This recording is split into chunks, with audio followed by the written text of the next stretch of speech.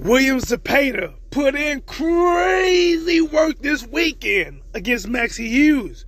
But the real question is, was it enough to entice a fight with Shakur Stevenson? You know what time it is. Let's talk about it. Yo, what up, guys? It's your boy T. That was blazing in sports. Yes, of course, I am back at it like a crack addict, giving you boxing geek. That work. Now, speaking of work, William Zepeda was putting in max work. It was like he was trying to audition that he should be next for Shakur Stevenson. Now, see the type of pressure speed, combinations, and a gas take that stay full more than most is want to see how can Shakur Stevenson handle it. See, people believe that not only that William Zepeda can compete with Shakur Stevenson, test Shakur Stevenson, but after that performance against Maxi Hughes, possibly even beat Shakur Stevenson. Now, God, listen, we are not going to get too far ahead of ourselves. But I'm telling you that it's a pretty good matchup. See, William Zepeda having that pressure, them high-low combos, definitely invest to the body. Got a got a really good gas tank. The work weight, I mean the punches and bunches.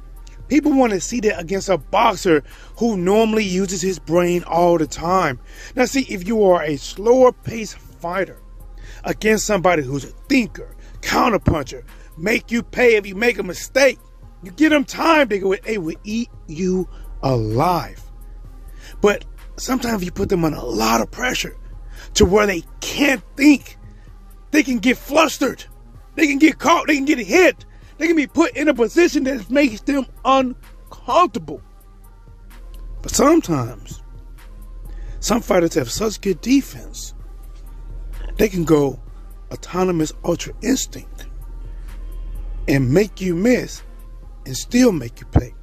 Now, Will Zepeda throwing all these punches. It's a good thing. That pressure, it's a good thing. Those are pros. But some of the cons that come with it, that when people come forward, they can walk into something big. When you throw a lot of punches, it leaves more opportunity to get hit yourself. Because when you throw a punch, you have to leave part of your body unguarded. Now I want to see myself how does Shakur Stevenson handles this type of pressure. And I'm telling you right now, this will not be like that last fight. Williams Zepeda is not going to be sitting back playing the I throw, you throw, less punches games. He is going to go. So either Shakur Stevenson is going to have to be on the back foot a lot all night, or he going to have to stop and exchange here and there. But God, those are my thoughts. What do you think about it?